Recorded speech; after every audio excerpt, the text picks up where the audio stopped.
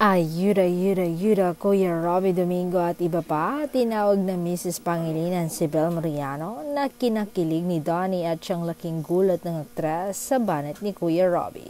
At Sir Gary Valenciano kinikilig rin sa pamangkin at sa nobya niya na kay Sweetam sa ASAP.